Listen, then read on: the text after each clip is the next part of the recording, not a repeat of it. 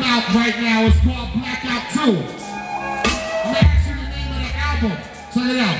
What's the name of the album? Blackout 2. What's the name